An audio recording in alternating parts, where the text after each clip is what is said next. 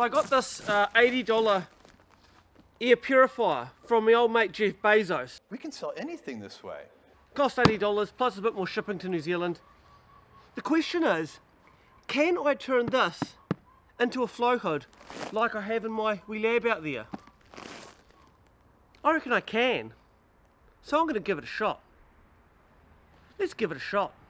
This sun is cooking me. So we chose a Toppin Comfy Air C2. Now I found this on Amazon and it had really good reviews. So this is our device right here, unboxed in all its glory. It's quite small. It pulls the air in from around the sides here and pumps it out the top. Uh, this is the wee device out of its box here and you can see it's got four parts around the uh, bottom where it sucks the air in from and it blows it out the top. Underneath here we can access it by opening it up. There's the power cable and here is the HEPA filter here. Now this is an H13 HEPA filter which are pretty good HEPA filters.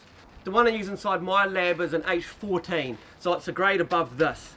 But this should do the trick for some pretty cost effective home mycology. The airflow output from this is 88 cubic feet per minute which means if we create a housing around the end here that expands to one square foot, it's going to be blowing at a rate of 88 feet per minute. Now I have heard that you want about 100 feet per minute for a good laminar flow hood, but if we wanted this at 100 feet per minute flow rate, the area you have to work in front of might just be a bit small. So I'm going to try this by expanding the area at which the air comes out here up to about one square foot and that'll give you a nice space to work in front of if you want to say collect cultures from the wild or perhaps inoculate small bags of spawn.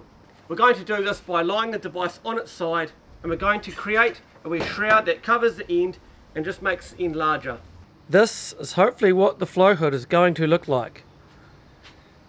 So you can see I've just got this uh, Systema plastic container and I'm going to mount the flow hood coming in the end down there.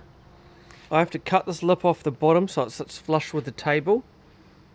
Once that's running it should suck the air in here, filter it and blow the air out here. I am concerned we might get small eddies of air um, circulating or dirty air circulating in these corners. But after you leave it on for a while I'm hoping that any dust that does build up or might get stuck in these corners just comes out and that should all be clean air in there.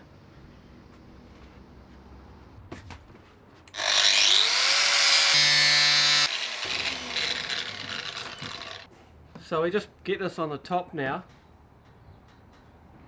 Just using the old Mark 1 eyeball to centre that. Highly reliable, highly accurate. Now I don't think this plastic actually takes the ink. Oh there we are, no, good to go. And there we have it. If you can see that mark, that's where the flow will go into. Well not the flow hood, I shouldn't call it that the uh, HEPA filter air purifier. It's an air purifier. We got there. Right, I'll just get this one cut out. Right, we've got this pretty good now. See if we can get this to fit. Whoa. Like a pair of Crocs. Just fits so comfortably. Look at that.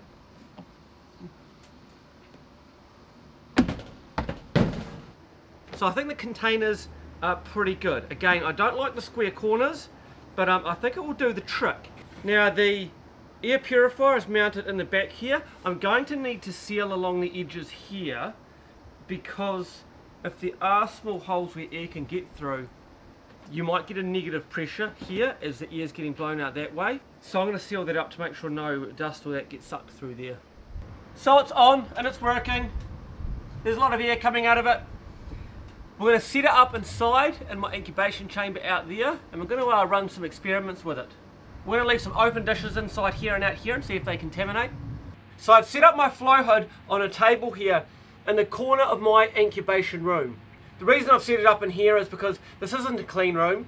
There's lots of dust in the air, there's carpet on the floor. So this is going to tell us if this wee flow hood here is able to clean the air that moves over these plates here. I prepared these plates in my clean room next door and we will open these up uh, while there's two in here, two out here um, and I'll put a, a control plate uh, on the side there for a bit. We'll open them up, we'll leave them open for five minutes and we'll see if they stay clean. A few things I have done, one is I've put blue, Blu Tack around the edges where it meets with the um, container here. Now this is just to stop air getting sucked through, dirty air at the back and getting um, blown out here. I'm sitting quite low on this table. Um, it gives me a work area inside here, but I also think you can work outside here as well. So if, if the plates in there stay clean, you could in fact um, bring this closer and work with your hands in here, um, always behind the plates you're using. We'll get this turned on and we'll see uh, if it keeps these plates clean. So we will turn this on. And I'm putting it on setting number two. Number three probably just blows, actually blows quite a lot of air on number three. You can see it there. It might be a bit too much. And one doesn't blow much at all. So I'm going to put it on two. And then what I'm going to do is wipe down the, sorry my spray bottle's seen better days, it doesn't spray too much. Going to wipe down the whole inside with isopropyl, 70% isopropyl alcohol and water. Got to make sure we give a good wipe. Just to get any loose debris off. We're also going to wipe down our table out here and cover our hands. So our hands are nice, our gloves are nice and sanitized. I'm just going to sanitize my arm a bit as well. I actually filmed the first half of this video uh, months ago. And since then I busted my arm and it's come back, I've had to get surgery on it. You can see the scar there. So, but it's healing up nicely. I've got a lot of use back. I can't lift anything with it though.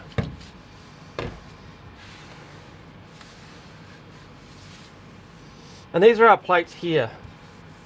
Now what I like to do with plates before I open them is give each side a spray. That one's kind of coming off.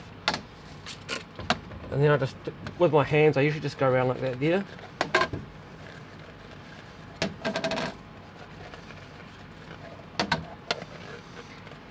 Now what I'm going to do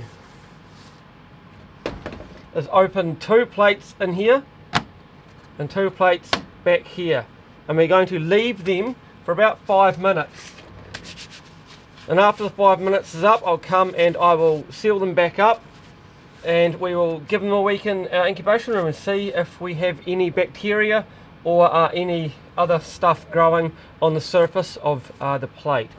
These are malt, uh, ex malt extract agar plates I made myself. We'll open these two in here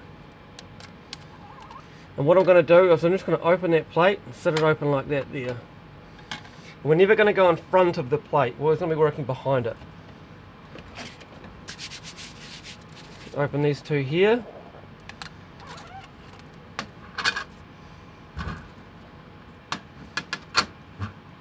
And we're going to open these two right here. Now I'm going to give those five minutes. Right, we've had this on for about five minutes. I'm going to cover these plates up, seal them, and we'll see if it's worked.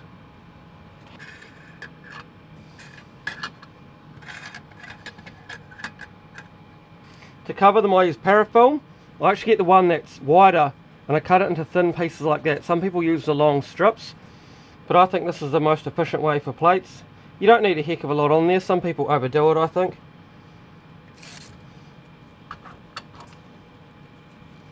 You just go around like that there.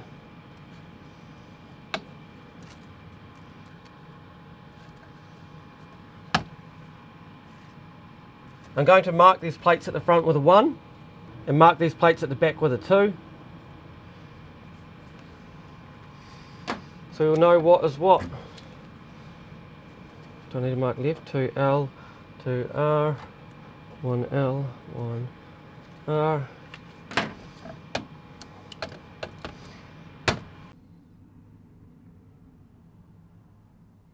And we'll just do a read control as well. I'm just going to open this plate up and expose it to the air for about five minutes. So this is turned off so it's not pulling clean air up over it. And we'll close that up after five minutes and note which one it was. So it's been about a week now. I think it might be just shy, a day shy. And the results are in. So let's have a look at what our plates look like. Now they're not perfect. And I could have guessed this. There's still a number of vectors for contamination which exist in this room I'm doing the test in. There's carpet on the floor. There was a big fan um, blowing this direction when I was doing it. If you go back in the video, you actually hear the background sound of a big fan blowing. I didn't turn that off and the air was sort of blowing this way. There's another vector for contamination. You know, I hadn't ran this in the room at all prior to starting it, so there would have already been a lot of dust in the air. So to improve the results of this, I probably could have um, ran this a little bit longer, maybe vacuumed the floor with a vacuum with a HEPA filter. Ideally, you'd want a room that's easier to keep clean. So this is the results. Now it's not ideal. I do think I could have achieved cleaner plates if I had uh, prepped the area in the room slightly more. But perhaps the point of this video wasn't to show that. Perhaps it was just to show that you can achieve reasonably good results from a very cheap setup. You can see the control plate down the bottom here. I'm just going to count up the number of um, instances of contamination on it. 1, 2, 3, 4, 5, 6, 7, 8, 9, 10, 11, 12, 13, 14. That's 14 points of contamination which I can visibly see there. So that's the control, and that's set for about five minutes just open on top of the box, which is just behind it here. This one here is contamination free. Great plate. This one here has one point of contamination there. This one up here has actually two. It's got the big trike contam. And then right next to it, just here, there's a tiny drop of bacteria right there. So it's two for that one. And this one up the top here has got the trike, which actually has three and then a little spot of bacteria there. So to go from this one here to relatively to a clean plate and then a near clean plate like this is a pretty good result I think. As I said, I could have got better if I'd spent more time preparing this room. Even leaving this this device on for you know an hour, two hours before I started would go some of the way to getting this trike out of the ear. I do think it's a bit perplexing that the, the, the containers that were actually inside the contain the plates that were inside the box got more trike on it than these two which were sitting out here. Perhaps there was a bit of dust current um, stuck in the box, which I did mention earlier on in the video I was concerned about, eddies of air stuck in there. But it's certainly a major decrease from this plate here. So I thought about reshooting this whole experiment and maybe making this room a bit cleaner, giving it a vacuum, leaving this running for a bit so I could produce better quality plates. You know, make the video look better. But that's not what it's about.